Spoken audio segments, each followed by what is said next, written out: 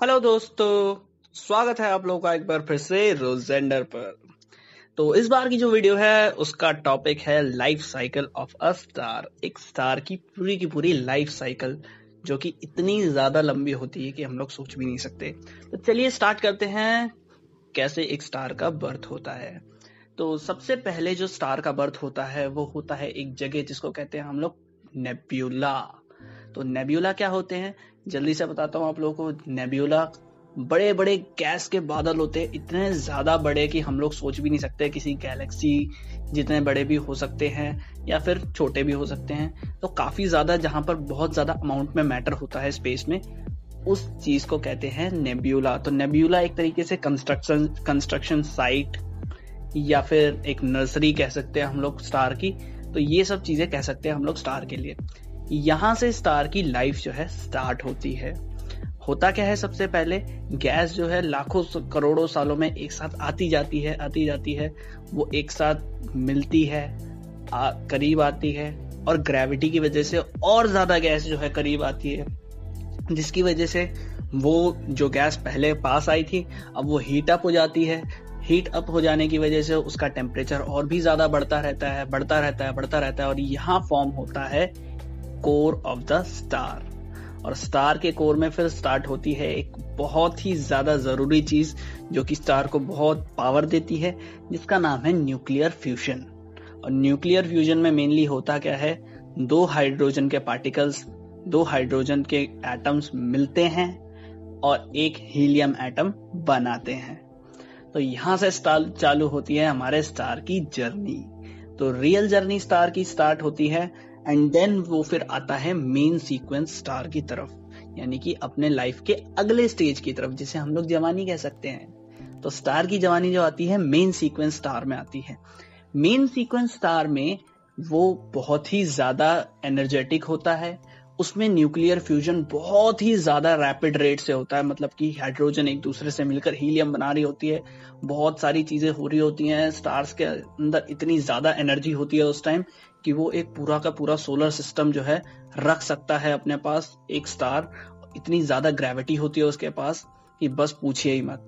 और फिर उस टाइम पे होता क्या है कि उसके अंदर की जितनी भी हाइड्रोजन गैस है जितना भी हाइड्रोजन फ्यूल है, वो बर्न होते होते होते होते, एक टाइम ऐसा आता है कि जब वो बर्न होना बंद हो जाता है, यानी कि हाइड्रोजन फ्यूल जो है, खत्म हो जाता है। वैसे ऐसा बहुत जल्दी नहीं होता। होता ऐसा लाखों करोड़ों सालों में है मिलियंस एंड ट्रिलियंस ईयर्स में होता है। बट जब ये होता है तो अगली स्टेज आती है सार की लाइफ की, जिसे हम लोग कहते हैं रेड जाइंट यानी कि वो एक बहुत बड़ा सा रेड जाइंट बन जाता है। इतना बड़ा कि अगर हमारा सन एक रेड जाइंट बनेगा तो अर्थ और मार्स को तो वो खा ही जाएगा। इतना तो बस अब समझ लीजिए कि जब रेड जाइंट हमारा सन बनेगा तो हमारी अर्थ को तो खाई जाएगा। और जब अगर कोई बड़ा स्टार जो है, अगर वो रेड जाइंट बनेगा तो तो वो इतना सुपर रेड जाइंट बनेगा कि मान लीजिए, क्या पता शायद हमारे सोलर सिस्टम जितना ही बन जाए। रेड जाइंट ओके तो हमारे सोलर सिस्टम जितना रेड जाइंट बहुत ही ज़्यादा बड़ा हो जाएगा। तो आगे बढ़ते हैं इस चीज़ में। तो मैं आप लोगों को बताता हूँ कि रेड जाइंट जो स्टार बनेगा, वो कितने टाइम में बनेगा, उसकी लाइफ कितनी ज़्यादा होगी मेन सीक्वेंस की, वो किस चीज़ पर डिपेंड करता है? वो डिपेंड करता है साइज़ ऑफ़ द स्टार और colour of the star size of the star पे ऐसे डिपेंड करता है, जितना छोटा स्टार होगा, उतना कम फ्यूल जलाएगा उतनी ज़्यादा देर तक ज़िंदा रहेगा, यानी कि उतनी ज़्यादा देर तक मेन सीक्वेंस में रहेगा। और जितनी कम एनर्जी वाला स्टार होगा, उतना ज़्यादा ज़िंदा रहेगा। जैसे मान लीजिए, एक स्टार है, जो कि हमारे सन जितना है या फिर सन से छोटा है। वैसे सन से अगर एट टाइम्स या नाइन टाइम्स छोटा कोई स्टार होगा तो उसे हम लोग स्टार कहेंगे ही नहीं, क्योंकि उसमें न्यूक्लियर फ्यूजन हो ही नहीं पाएगा। तो स्लाइटली हम लोग सन को एक बेसिक स्टार मान के चलते हैं। तो सन जैसा जो स्टार है, उसमें क्या होगा?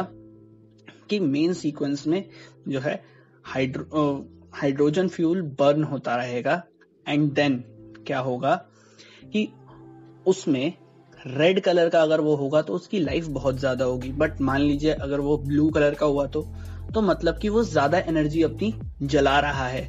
तो उसका जो न्यूक्लियर फ्यूजन है वो बहुत ज़्यादा जल्दी जल्दी हो रहा है। अब मान लीजिए किसी स्टार का साइज़ बहुत बड़ा है बट वो रेड कलर का है तो वो ज़्यादा देर तक ज़िंदा तो रहेगा बट उतनी देर तक भी नहीं रहेगा क्योंकि उसका जितना साइज़ है, उसके हिसाब से उसके पास फ्यूल भी जल्दी जलेगा। और अगर बहुत बड़ा स्टार है twenty times than the mass of our sun तो उसकी लाइफ तो बहुत ही ज़्यादा छोटी हो जाती है। अगर वो ब्लू कलर का है, और अगर मान लीजिए वो बहुत ज़्यादा बड़ा भी है तो काफ़ी छोटी लाइफ जो है उसकी हो जाती है हमारे सन के मामले में। अगर कंपेयर करें सन से तो। तो इसीलिए जो है सन जो है हमारा ज़्यादा देर तक ज़िंदा रहता है और जो ज़्यादा एनर्जी खर्च करते हैं, उनकी एनर्जी, उनकी हाइड्रोजन फ्यूल जल्दी खत्म हो जाता है। तो वापस से आते हैं रेड जाइंट पे। तो रेड जाइंट में क्या होता है कि जब सारा हाइड्रोजन फ्यूल जो है खत्म हो जाता है, तब स्टार अपना हीलियम फ्यूल यूज़ करने लगता है। यानी कि जितनी हीलियम उसके पास बची है, वो बाद में न्यूक्लियर फ्यूजन करने लगती है और बहुत ही रैपिडली ये न्यूक्लियर फ्यूजन होता है। और जो मेन सीक्वेंस स्टार है, उससे कम टाइम तक जो है हमारा स्टेबल रहता है ये रेड जाइंट तो रेड जाइंट काफ़ी जल्दी जो है कोलैप्स कर जाता है या फिर सुपरनोवा में कन्वर्ट कर जाता है।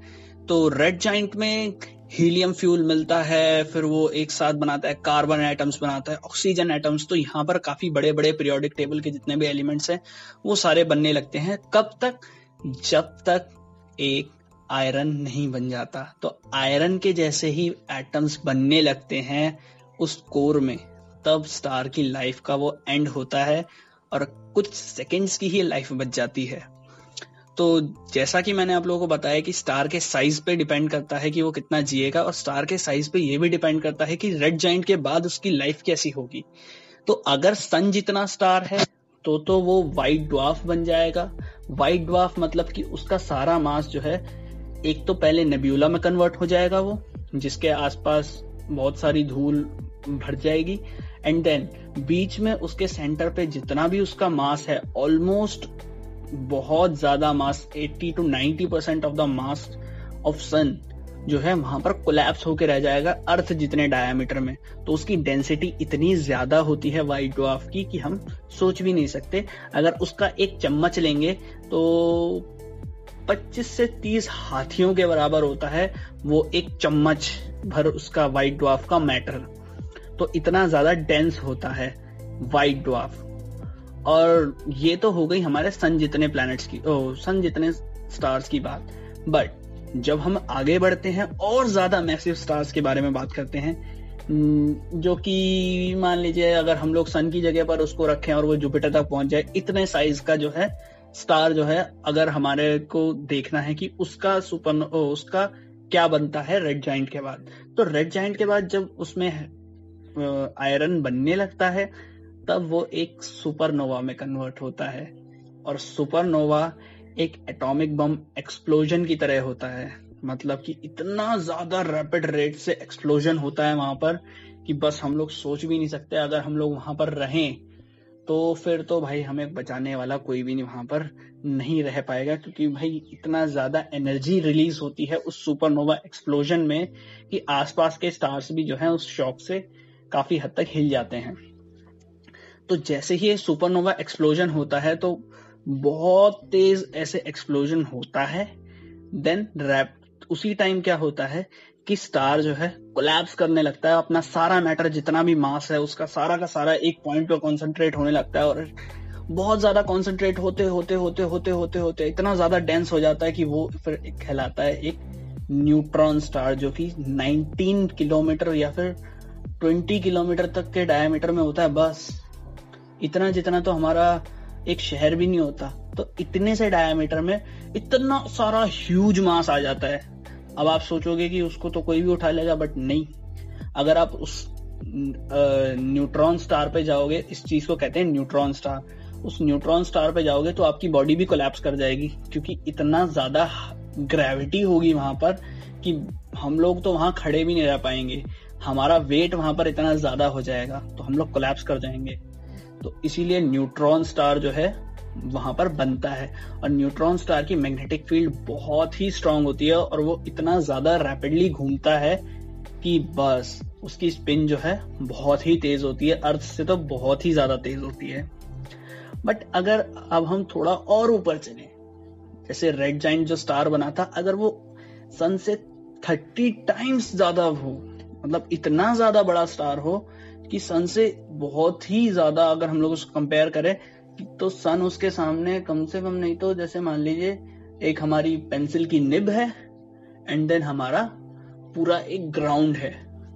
तो इतना ज़्यादा डिफरेंस होगा अगर हमारे सन में और उस स्टार में तो फिर क्या होता है कि जब वो सुपरनोवा में कन्वर्ट होता है, तब एक बहुत ही ज़्यादा जानी मानी चीज़ बनती है, जिसको हम लोग ब्लैक होल के नाम से जानते हैं। ब्लैक होल पर एक पूरी वीडियो आगे चलकर मैं बनाऊँगा बट अभी के लिए मैं आप लोगों को बता देता हूँ कि वो जो स्टार है, उसका सारा मास इतना ज़्यादा कॉन्सेंट्रेटेड हो जाता है एक जगह पे कि बस वहाँ पर वो स्पेस को इतना ज़्यादा बेंड करने लगता है कि लाइट भी उससे बचकर नहीं जा पाती और इसीलिए उसको कहते हैं ब्लैक होल ब्लैक होल का मतलब लाइट उससे बाहर नहीं आ पाती, इसलिए हम लोग उसको देख नहीं पाते। तो इसीलिए उसको ब्लैक होल कहते हैं। तो ये थी पूरी मेन सीक्वेंस से लेकर प्लानिटरी नेब्यूला तक की उसकी जर्नी कब उसका बर्थ होता है, कैसे उसके नेब्यूला में बर्थ होता है, कैसे वो खुद एक नेब्यूला बन जाता है, और बाद में जो है, एक या तो व्हाइट ड्वाफ बनेगा, या न्यूट्रॉन स्टार बनेगा, या फिर एक ब्लैक होल बनेगा depending on the size of star like करें अगर आपको ये वीडियो पसंद आई शेयर करें अपने दोस्तों के साथ